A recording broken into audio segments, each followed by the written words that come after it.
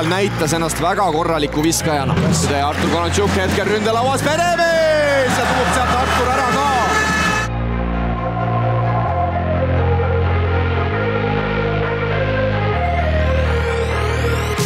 ja Konatšuk lahendab ja Pärnu publik, Pärnu publik siin saalis rõkkab selle kõige peale.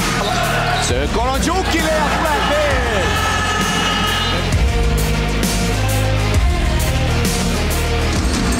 Konotšuk, no see mees ei küsi täna üldse. hästi, Artur poiss. ja kas Artur laseb sealt ühe veel? ja laseb.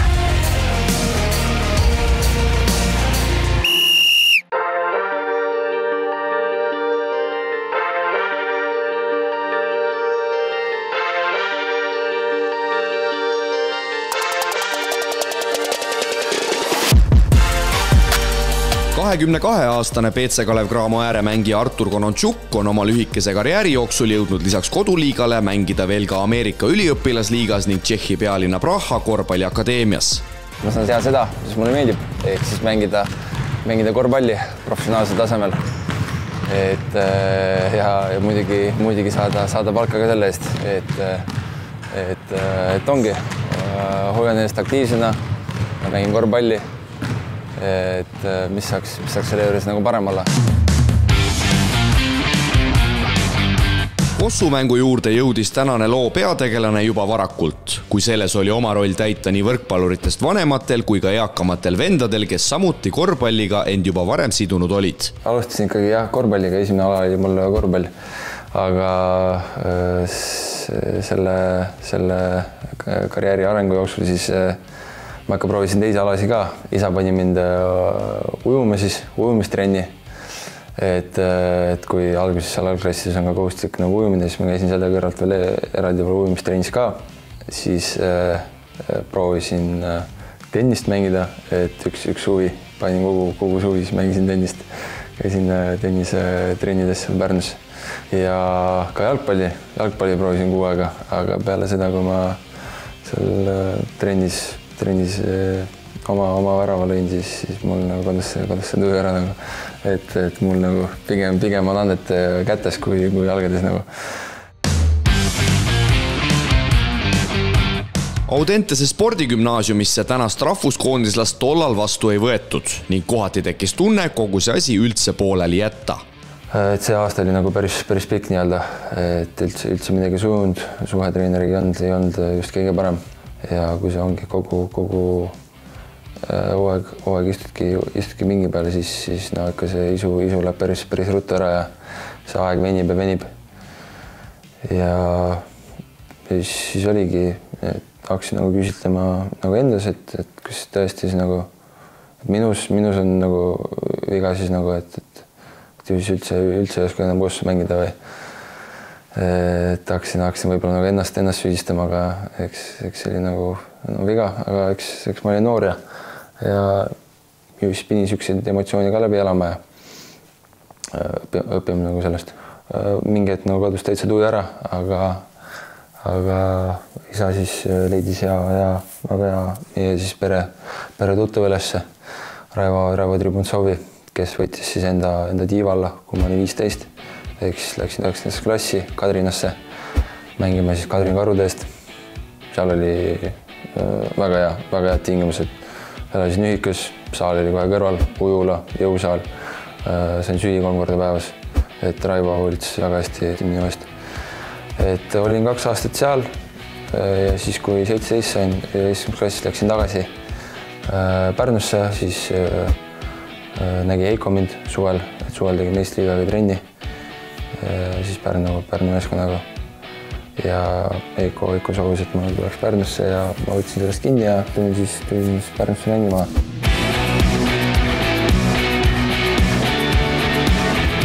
tollel hetkel ta oli pigem, ma ütleks, niisugune füüsiliselt juba suhteliselt valmis mängija meeste vahel mängima, et füüsilist jõudu nagu oli aga oli kindlasti veel mängu lugemises kõvasti juurde panna ja ja kindlasti veel tehnika poole pealt ka, et suhteliselt veel nurgeline oli, aga aga kindlasti ta oli juba näha, et oli palju treeninud äh,, vaeva näinud, ise oli juba siis stabiilne, aga võib-olla meeste mänguks veel päris valmis ei olnud? oma esimest mängu, ma mäletan ühte, ühte mängu, kui veel äh, Valga Max ja Moritz oli veel, siis, siis mäletan, kui ma, kui ma kolm-kolmest järjest panin, siis no ikka, ikka rahvas, rahvas karjus täie, täiega kaasa ja ja siis oligi üks, üks, üks lätlane vist oli seal Valgas mängis siis, et mäletan, kui ma panin selle kolmes ära.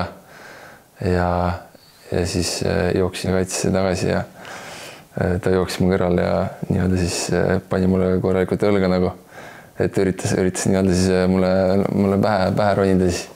et mul niisugune, niisugune moment meeles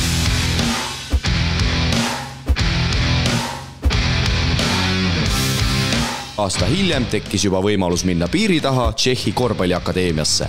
see võimalus tekkis siis nii, et, äh, et sinna siis äh, Tšehhi, Tšehhi saada ma sain äh, läbi U kaheksateist koondise Makedoonias, meil oli EM seal ja siis needsamad GBA treenerid siis tulid sinna skautima, tulid vaatama, kaks eestlast oli seal ees juba, Mart-Andres Jaakson ja Andre Loigu. nagu seda aastat vaadates, siis üld, üld, üldpildis võib, võib rahule jääda. et äh, tingimused just kõige paremad ei olnud. nüüd see muidugi tingimused on väga palju, väga palju paranenud. et ma ei taha kedagi ära hirmutada. aga eks, eks tingimused saaksid natuke paremad olla, et seal äh, mäletan äh, Mark-Andrei Jaaksonil oli, oli seal madrats oli, oli hallitanud ja mille, mille peal ta magas ja ja äh, see toit, äh, toit on ka just kõige parem, aga, aga niisugustel äh, hetkedel nagu, niisuguseid hetki on vaja nagu elus, ma ütleks, et, et siis hakkadki väärtustama neid, neid teisi hetki. et just siis, kui sa saadki nagu näiteks koondisega oled ja oled niisugustes nelja või viie tärni hotellides, saad bufeetoitu süüa, siis, siis nagu niisugustel hetkedel ikka väga nagu väärtustad niisuguseid, niisuguseid momente. kuna sa oled äh, seda halvemat poolt ka siis nii-öelda siis kogenud. et aga, et nagu tingimused, tingimused andsid veits soovida, aga just nagu see korvpalli, korvpalli pool ja treeningute pool oli väga, väga hea, et, et meile tuli treenereid seal välismaalt olid need kohalikud Tšehhi treenerid, USA-st treenerid, olid Saksamaalt treenerid, siis käisid ka USA ülikooli treenerid käisid seal nii-öelda mängeid vaatamas, et nende siis selle akadeemia ülesanne oligi, oligi saata mängijaid äh, Ameerikasse ülikooli siis. et individuaalselt ma arenesin väga palju, väga palju seal. väga hea ettevalmistuse sain sealt siis enne, enne USA-sse minekut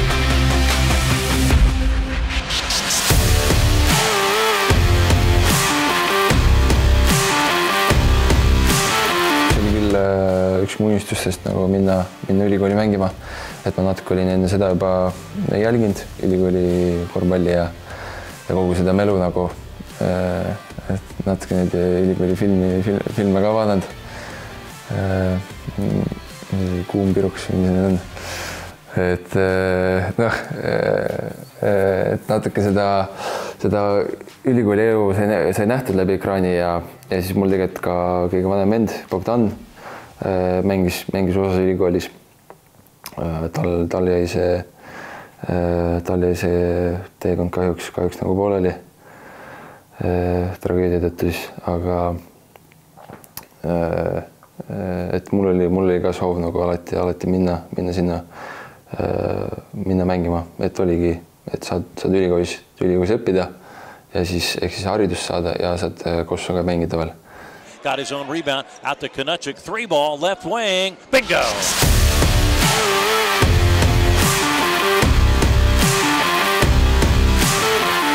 no kogemus, kogemus oli äh, ikka meeldejääv. selles suhtes nagu just elu poole pealt võib öelda, et positiivne, aga korvpalli poolt nagu ütleks, et, et nagu negatiivne, et pigem oleks võinud nagu Euroopasse jääda. või siis noh võib-olla kuskile teise, teise ülikooli, kus oleks nagu paremini mina kui mängija sobinud ja kuskile nagu, kus oleks nagu treeneriga võib-olla paremini klappinud nagu. et äh, ülikooli elu oli nagu väga-väga põnev nagu kummirukas äh,. päris, päris nii robustseks ei läinud, aga, aga eks ikka sai, sai proovitud ja kogetud neid ülikooli pidusid seal enne hooaega ja peale hooaega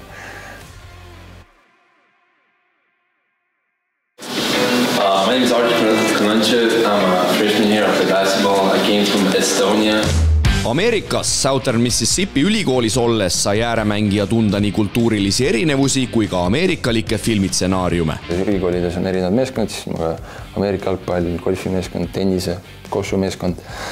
et, et siis ma olin seal, sain golfarite tuttavaks ja läksin golfaritega välja ja, ja siis seal läks seletamiseks ja siis oligi neli mustanahalist. siis ma olin kolme selle golfariga ja, ja siis, siis samamoodi äh, vend tuleb, tõstab särgi üles, tal on relv seal siis võttis välja sihtis, sihtis relvaga. et, et siukse, siukseid, siukseid olukordi, olukordi seal, seal on nagu. golfarid ruttu, ruttu tirisid, tirisid minema, pöörasime selja lihtsalt, lihtsalt kõndisime minema, aga see tõmbas, tõmbas kaineks nagu kohe, see, see, see on ikka, no ikka õõvastav nagu sul tõmbabki krampi nagu, sa ei, sa, sa tead ka nagu see ei ole mingi väljaõpe või kuskil, ma ei tea, mingi politseinik siin, ma ei tea, siin mida iganes, vaata, see on nagu täiesti võõras inimene, seal niisuguseid äh, äh, tulistamise asju juhtub iga päev. see on nagu nii-öelda siis normaalne seal igapäevaelu neil, et, et kunagi ei tea, mis, mis sul on nagu, et see oleks, see oleks päris jube kuskil Missippis täiesti teisel pool planeeti nagu kodust siis äh, kuskil kuuli saada lihtsalt, et, et kuskil nagu seletasid kellegagi lombi taga olles tabas Konotšuki raske põlvevigastus, mis tõi ta pärast teist hooaega tagasi kodukamarale. mul teisel aastal äh, tekkis äh,, tekkis vigastus, lausa mitu vigastust, et äh, nihestasin äh, oma kedreluutsis põlve, põlve peal. et, et see juhtus mul kokku neli korda, enne kui ma opile läksin, et natuke nagu tunnen, et lõhkusin ka ennast et mängisin selle põlve kaitsmaga, et mingi rauast, rauast jublaks lõmusin jala ümber, et äh, mängisin sellega siis hooaja lõpuni, et peale hooaega läksin, äh, läksin opile ja siis opi niisugune taastusperiood oli kuus kuni kaheksa kuud. Konutšuk lajatab kohe pöörde pealt ja lajatab posti ka. Nonii, kas Konutšuk kustutab juba asju ja see on valus. tagasitulek oli edukamast edukam, kui koheselt tõusis noor mängumees koduliigas pildile ning kõige tipuks võideti kevadel Pärnuga ka ajalooline Eesti meistritiitel. no vist väga keegi ei teadnud ka, et, et suvel ma tegin lihtsalt trenni Pärnus ja, ja seal äh, jutustasin Karl-Martin Kasega jõusaalis, sattusime kokku tihtipeale seal äh, Pärnus jõusaalis ja siis jutustasime, siis ta küsis ka, mis mul plaanis on ja siis ma ütlesin, ma ei teagi veel, et et suure tõenäosusega tagasi ei lähe, vaata. Ja ma kahtlesin, et, et see jutt, jutt liikus nagu sealt edasi ja siis oligi järgmine päev juba Juhan Kärp helistab mulle, et Pärnu väike linn ja kõik teavad kõiki, see jutt, jutt liikus kiiresti. ja saavadki mustad särgid palli kätte ja juba kiires ja kaks pluss üks ja Pärnu ma juhib. ei oleks muidugi arvanud, et, et ma ise niisuguse äh, progressi teen individuaalselt, et äh, ja siis muidugi ka nagu meeskondlikult, et äh, kõik, kõik klappis, klappis nii ilusti, et äh, et meeskonnaga läks hästi ja treeneriga läks hästi ja siis oligi äh, füsio oli hea, sain taastusravi ilusti tehtud ja jätsin seal paar äh, hooaja eelset mängu, pre-season mängu jätsin, jätsin vahele, aga hooaja alguses sain nagu kõik äh, need ametlikud mängud nagu kaasa tehtud. et jaa, ei, ei oleks oodanud niisugust asja, et see, see tuli, tuli muidugi üllatusena.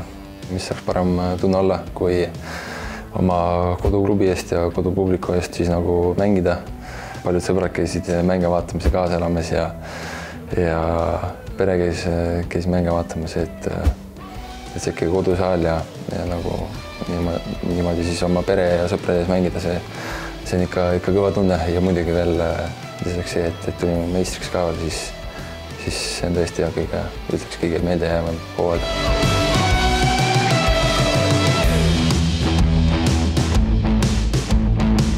Tänasel päeval ollakse koos peatreeneri Heiko Rannulaga üle kolitud Pärnust Kalev Cramo meeskonda, kus sel hooajal on koostöövilju juba ka nopitud mul oli selles suhtes kindel idee, kindel plaan, milliseid mängijaid ma siin satsis äh, tahan ja, ja nemad Hugoga olid äh, kaks kindlat Eesti poissi, keda ma tahtsin kaasa võtta. kuigi teades, et neil mõlemal on väikesed punased lipud nii-öelda vigastuste puhul ka, aga aga ma usun, et meil on siin kõige parem niisugune meditsiini pool ja nendel meestel võib-olla ideaalne koht Eestis, kus samme edasi teha. mul on esimene, mul on esimene, opa, mina lähen. oi, oi, oi, ma olen siin, ma olen abi, ma olen abi. ma olen abi, ma olen viimane on kindlasti mängu lugemiselt, üldse mängu mõistmiselt nagu kõvasti paremini, paremaks saanud ja, ja võib-olla saabki aru, et, et korvpall ei ole ainult viskamine, et nüüd ta täna, tänasel päeval, ma arvan, samm-sammult on teistes asjades ka nagu järgi aidanud ennast ja ja, ja kaitse poole peal ka kindlasti, et kindlasti on veel pikk maa minna, aga täna võib juba öelda jah, et on, on edusammud mängust nii-öelda väljaspool toob ta kindlasti väga hea sellise atmosfääri riietusruumi, et väga enesekindel mängumees ja saab kõigiga läbi jutukas ja teeb omajagu nalja ka, et selline väga positiivne lisand, lisand riietusruumi. ilus, ilus, ilus. ja see on, sa oled ilus sa olla, sa oled liine, sa oled ilus, ilus. mitte, mitte tagasihoidlik, ütleks nii, et selline väga elav ja suhtleb kõigiga, kes ette juhtub ja ei, ei karda, väga, väga suhtlev ja jutukas. et väga hea sõber. no võib öelda, et, et suht ära harjunud, et täitsa, täitsa esimene kord ei olnud mul siin Tallinnas, et varem siin ka koondise laagrites olnud ja vend, vend elas siin Tallinnas tihti külas käinud. et Tallinn täitsa, täitsa võõras linn mul ei olnud. aga eks ikka natuke aega vajas harjumist. et ikka päris suur linn, tihe liiklus, inimesi palju rohkem, et ma äh, ikka palju väiksemast linnast, Pärnust. aga ma ütleks, et harjusin suht ruttu. organisatsiooni mõttes küll, jah äh,, väga palju, väga palju professionaalsem just nagu kontori pool. aga klubi poolt ütleks, et äh, Pärnu Graamo. et äh, et sama, sama treener, liikumised saavad, mängijad on ka, Hugo ja Häll, Häll tulid kaasa. et niisugune väga-väga kodune, kodune tunne, tunne tegelikult siin, siin nagu klubi poole pealt. Tallinna klubi mängijate hulgas on üks eelistatumaid vaba aja tegevusi discgolfi mängimine, millega on parajasti nakatunud ka antud episoodi põhipersoon. no oleneb muidugi äh,, muidugi ilmast, aga aga kui on ilus ilm ja soe on veel, siis ma harrastan, harrastan samamoodi ka discgolfi. mul siin äh, satsikaaslased äh, veel mängivad, äh, mõlemad kitsingud ja. Kaspar, räägi natuke mänguplaanist meile. plaan on täna visata rohkem punkti kui vastased. no ei olegi, ei olegi kätt proovinud veel mõlema, mõlema kitsinguga. aga, aga nii palju, kui ma kuulnud olen, siis natuke nad mängida oskavad, natuke seda ketast, ketast nad visata oskavad et aga, aga eks ma olen ise ka palju harjutanud ja ma usun, kui siin äh, nüüd ilm soojemaks hakkab minema, et äkki, äkki hooaja lõpus siin või, või suvel, suvel saab minna, minna rajale ja siis, siis saab selgust.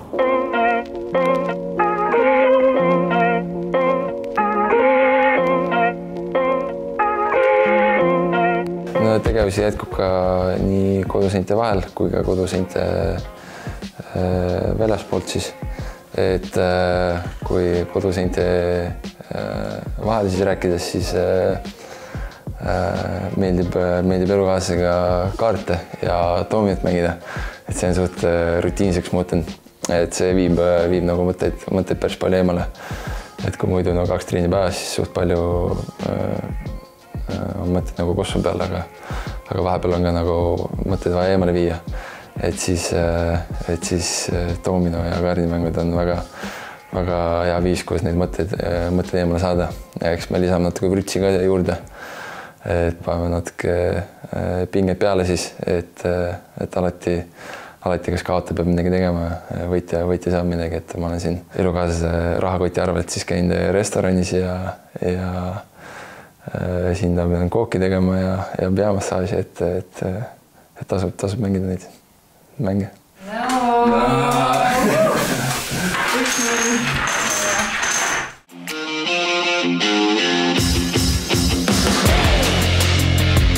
tänasel päeval veel vaid kahekümne kahe aastaselt plaanib valitsev Eesti meister korraliku pakkumise korral kodumaa tolmu jalge alt pühkida.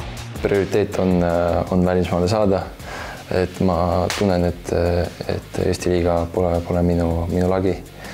Et, et võin ka, võin ka nagu kuskil, kuskil nagu kõrgemal, kõrgemal proovida. et ma usun, et ka need Fiba EuroCup mängud näitavad, kus me mängime palju, palju kõvemate ja palju suuremate eelarvetega klubide vastu, kus oleme ka nagu võitnud, võitnud neid, neid meeskondi, et, et need, need mängud on näidanud, et ma suudan nagu niisuguste, niisugusel tasemel mängida nagu.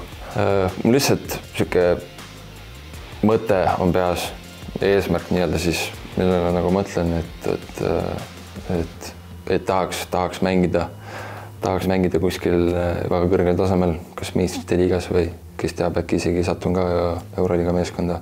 et kindlasti niisugune, niisugune tahtmine on ja unistada suurelt ma ei usu, et, et on vale nagu. et aga kindlasti, kindlasti tahaks, tahaks nagu välismaaga kätt proovida ja ja äh, tahaks ikkagi kuskil, kuskil soojemas kliimas, soojas kliimas mängida, et ma, kui ma korraks seal Mississippis olin, siis, siis ma sain aru, et, et soe, soe kliima on ikka hea ja liigestel asjadel on see hea ja et kui sa korraks seal, seal proovid mängida, siis saad aru, et, et, et, et palju raskem on nagu külmas kliimas mängida. siin teedki trenni ära, et tuled õue, vaatad, vihma sajab, viis kraadi on õues, siin ongi novembris juba lund sajab, et et väga-väga hea nagu tujuga sealt saalist välja ei tule nagu, et et jah, siuksed, siuksed eesmärgid mul on ikka jah, et kuskile äh, äh, Euroopa tipptasemel nagu mängida? no esiteks peab kindlasti tal füüsise just selle koha pealt korda saama, et, et need põlve, põlveasjad ei korduks, et ma usun, et seal on kindlasti ka lihtsalt trenni ja, ja harjutuste taga asi kinni, et selle peab paika saama, et kui keha on terve, siis saab, saab ka rohkem koormust treeningutel, saab ka keskenduda nendele asjadele, mis tal praegu nii-öelda puudulikud on, et ma ütleks tehnilise poole pealt kindlasti close-out'i ründamine äh, ja siis nende close-out'ide lahendamine, et äh, otsuste tegemine palliga just, et see on niisugune äh, koht, mida peab kindlasti parandama ja, ja samas ka kindlasti just perimeetri kaitse üks-üks. ma ütleks üheks, üheks miinuseks olekski see, et, et, et just nagu läbimurdeid, läbimurdeid on vähe. et kunagi ma tegin väga palju, ma söötsin nagu väga palju peas kinni et ma, ma mõtlen üle nagu niisugustel hetkel, et, et just nagu, et siin Andres Sõber ütles ka, et minu koondise mängude kohta, et kogu Euroopa teab, et, et, et ma viskan. ütleski, et, et tulebki, tulebki siis kõris kinni olla. et mõtlengi, et ju siis nagu siin, siin tasemel veel ma saan nagu äh, oma, oma visked kätte ja, ja siin nagu meeskond veel teevad, teevad siukseid, siukseid vigu äh,. siis kaitses nagu, kus ma saan oma äh, viskad kätte, aga mida kõrgemale tasemele, tasemele ma lähen, siis seda, seda rohkem äh, äh, relvi, relvi peaks olema mul ja üks olekski see, et ma hakkaks nagu paremini, paremini läbimurdeid tegema. ja hea sööt ja kas Konontšuk ei saa sealt viskele. Stevens jookseb hooga vehmale ja Artur Konontšukilt nüüd väga hea ja küps otsus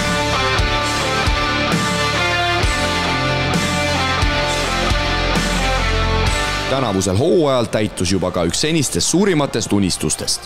koondise debüüt. ma ütleks ka, et läks, läks täitsa, täitsa rahuldavalt, täitsa soliidselt. et äh, ma väga tänulik, et mulle see võimalus nagu anti. et äh, jällegist seda, neid mänge, neid mänge nagu ma ka, ka ei unusta. et see on, see on ikka kõva tunne äh, mängida, mängida oma oma Eesti, Eesti publiku ees nagu ja mul oli samamoodi, samamoodi üks unistus, üks unistus oli mängida Saku Suurhallis. et see unistus läks ka täide, et muidu ainult seal Eesti, Eesti Kalev/Cramo mänge vaadanud, siis nagu tahtsin, tahtsin ka ükskord nagu platsile ka saada sinna. ja nii see juhtus. et, et sain ka nagu Eesti, Eesti koondise särgi, kandes siis seal platsi peal ka olla. ma usun, see oli hea nagu kokkusattumus ka veel et, et hea võimalus tekkis mulle. et just, miks võib-olla ma suvel välja jäin, oligi see, et, et konkurents oli väga tihe. et siin Euroliigad, NBA G-liigi mängijad, need olid nii-öelda mul ees siis nagu.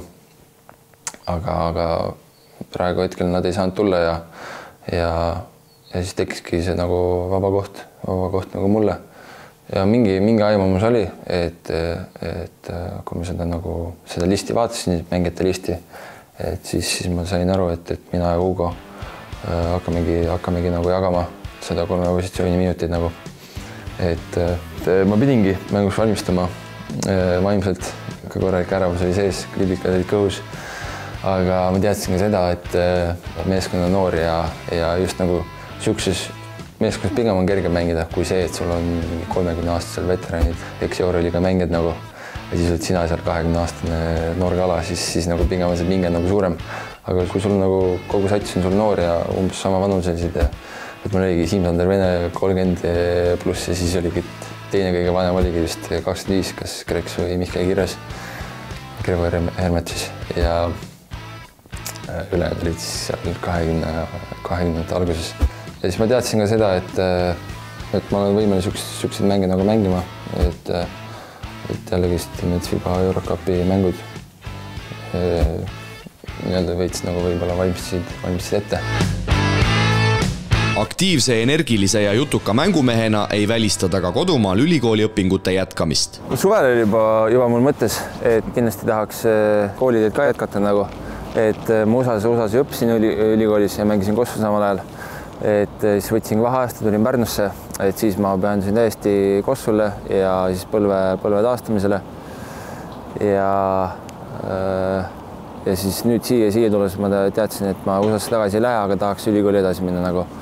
siis ma nüüd äh, uurisingi, et, et saaks TalTechi minna, et jaanuarist ongi mul tegelikult plaanis, plaanis TalTechi minna.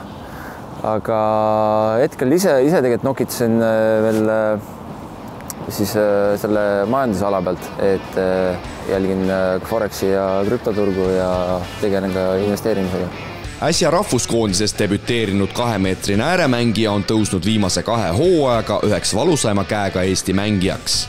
kaugele niivõrd kiire arengu juures Arturi tiivad kannavad, seda näitavad juba järgmised aastad. kaks null minu kasuks, üks mängija.